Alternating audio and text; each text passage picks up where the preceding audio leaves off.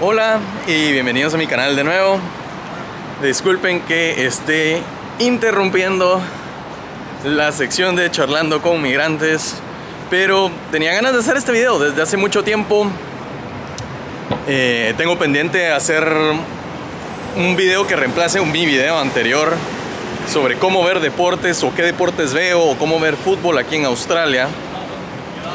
Y así que tengo que meter este video sí o sí.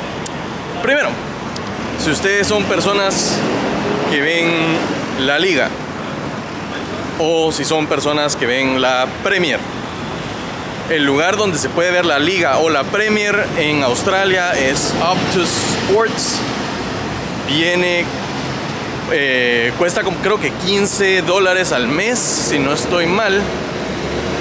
Sin embargo, si ustedes tienen internet de casa Optus o internet de celular Optus con un plan, como yo, en ambos casos, es gratis. Así que Liga y Premier son gratis si consiguen Optus Sports eh, por medio de tener teléfono eh, con Optus o internet con Optus para casa. Em, este video no es de ninguna manera patrocinado por Optus, así que no crean que les estoy haciendo ningún tipo de publicidad. Pero sí, les recomiendo mucho Optus. Y para ver la Champions League, este es un cambio. Antes se miraba en Optus Sports y ahora es en Stan. Stan es un servicio tipo de streaming tipo Netflix. Pero aparte de pagar por el derecho de tener Stan, tienen que pagar por el derecho de ver deportes en Stan. Así que it is what it is. Tienen que pagar y tienen que pagar y ya está. Eh, pero bueno, eso es todo. Si ustedes ven muchísimos otros deportes, les recomiendo que obtengan Keio para ver el Australian Open y tenis en general. Hay aplicaciones gratis para ciertos canales como Channel 9, Channel 10, Channel 7.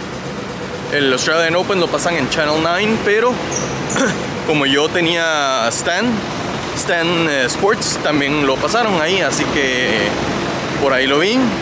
Hasta del inicio, digamos, hasta las semifinales de hombres.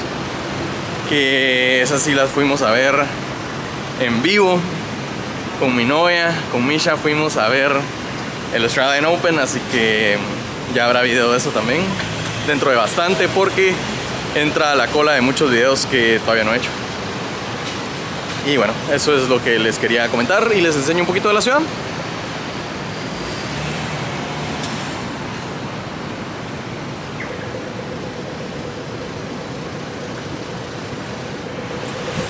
Y bueno, si no están suscritos al canal, les pido que lo hagan. Vendrá muchísimo más contenido de Australia por todo el tiempo que yo continúe en este país.